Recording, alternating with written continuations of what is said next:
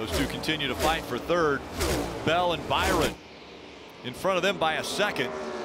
And behind this, Truex on those tires, he's going. Oh, into the wall hard as the 11. Denny Hamlin hard into the wall in turn one. Caution, caution, caution, Massive caution, caution. contact, big, big damage to the right front of that car. Something broke in the steering. Oh, something broke. Yeah, said. that car went straight into turn one, right into the fence.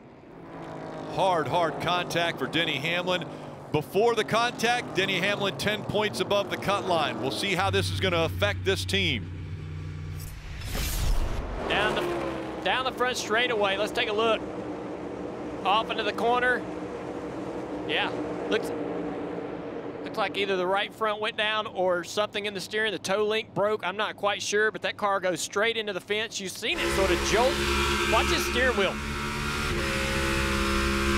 Watch the steering wheel. See if anything happens there.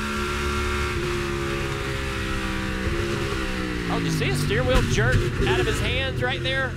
He shifted. He went down to shift, too, Yeah, and but it looked like the steering wheel. was, there was some contact between he and Yeah. the 12. You wonder if he didn't cut a sidewall on a tire or something like that happened because when those in those battles there was contact. Did something get damaged? Did a tire get cut in that in that battle with Blaney? Whatever happened, you can almost see the wheel get yanked out of his steer, out of his hands, Marty.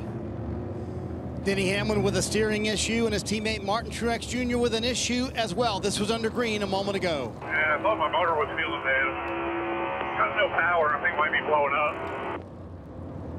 And you can see the oil coming from the tailpipe, Steve. Steve, he said it's running rough. It's cutting off. They've asked him to go to page three on the uh, on the uh, screen right in front of him to try and diagnose it. But it looks like the engine for the 19 is not going to live. What a cruel five-minute turn for Joe Gibbs Racing with Hamlin and Truex having an issue. Yeah, two with an issue, Bell leading. Uh, you know, so you go to page three to try to diagnose it and see if there's something you could try to do to limp this thing home. But you see the smoke coming out the pipe, so definitely some sort of an internal issue for the 19 car. And guys, for the 11, it looks like the right front tire on the car still has air in it, sitting right here, right? It's not on the wheel, so I think you guys both called it, the movement in the wheel. There wasn't really any sparking like it went down onto the car at any point or any of the rub blocks or anything.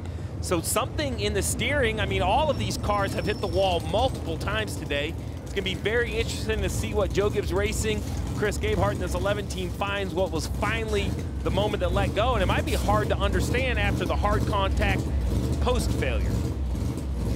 Denny's climbed out of the car. There's Coach on the bottom of the screen. And you can hear in the background, you can hear Truex engine. It's sick. It is not running right at all. Winding that down on Yeah. Truex's car. He's going to climb out as well. Marty. They're done, Rick. Yep. And Truex did say, if I shut it off, I feel like it will not start. And James Small said, shut it off. We're done. And Truex now being pushed back to the garage. What a crazy five minutes for this race team. Well, a year ago, only two playoff drivers finished in the top 10 here, and it looked like it was going to be the exact opposite this year. They filled the top 10 other than Buescher, uh, but now it's Bell, Byron, Blaney, one, two, three. Reddick, the other one in the top 10, running eighth. Truex and Hamlin both will be behind the wall. Pit road's not been open yet because the 11 car has a wrecker hooked up to it on pit road, so they cannot open cannot open it yet. And Steve, there's going to be some difficult decisions to be made right here.